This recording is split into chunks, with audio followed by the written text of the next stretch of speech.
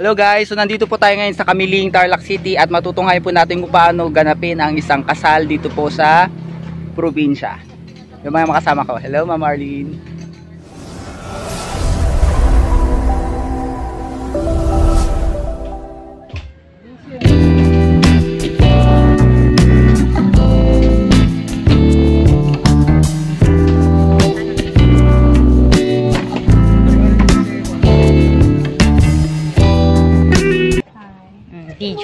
Video. Ay, video ba yan? ano ba yan? Ma'am Arlene, anong tawag dito? Damara. Arlene, para sa yung damara? Damara para sa puni, isang kaugalian dito sa amin. Mga Ilocano at mga Panggalatot ang may sayawan pag bis bisperas ng kasal. Ayan, so narinig po natin, ito po yung area. Ito po yung Damara. Dito po gaganapin mamayang gabi yung sayawan. Kung mapapansin po natin, gumamit po sila ng mga dahon ng buko. Nakaugalian din nila ang paggamit ng mga malalaking speaker or mga sound system dito sa baryo kasi panghatak at uh, mas masaya kapag mas malaki yung mga speaker. So, yun po.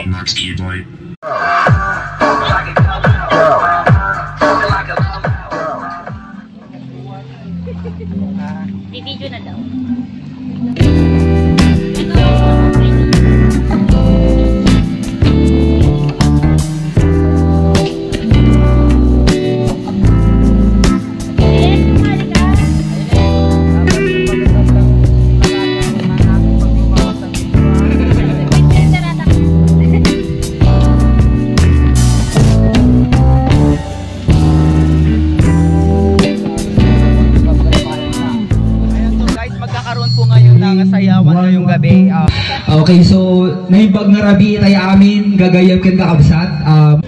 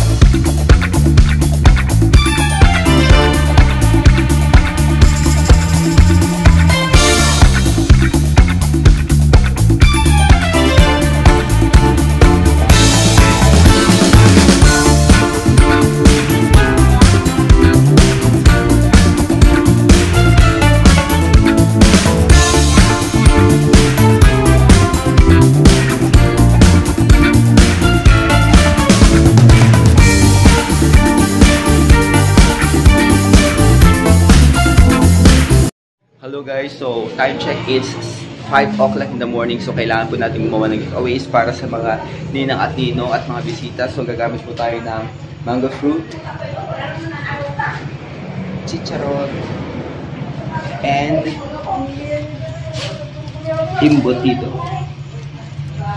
So kailangan po natin gumawa ng 40 pieces na nakaganito siya. Arleng atin eh. Sige, kabudget na siya. Titin ka ba ba? Mamaya na. Say hi!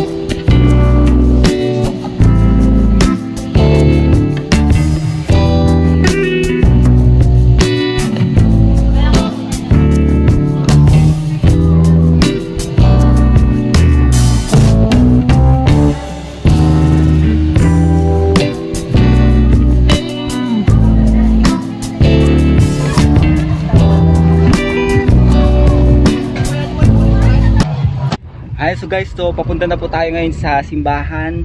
Kasama po natin si Warren the Groom.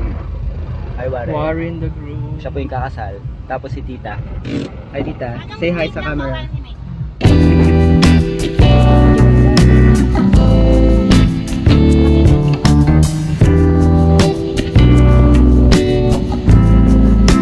Warren, anong pakiramdam ng ikakasal? Masaya, sir. Masaya. Masaya. Mixed Kinakabahan, kinakabahan. Baray.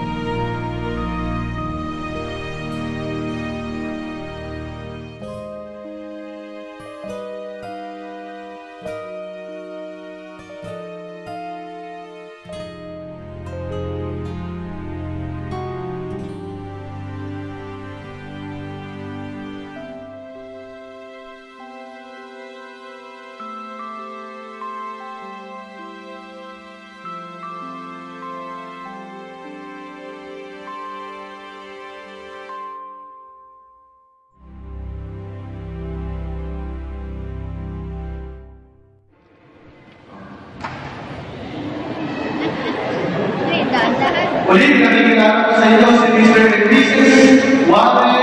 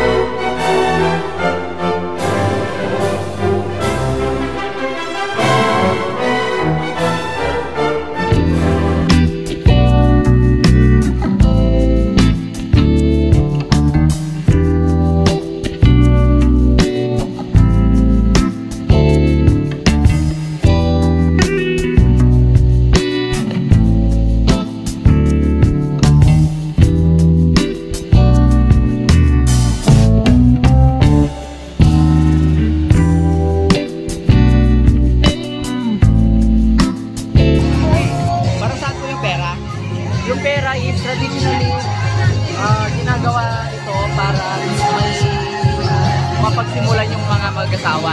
Binibigas, gift, regalo. Para bigyan ng kanila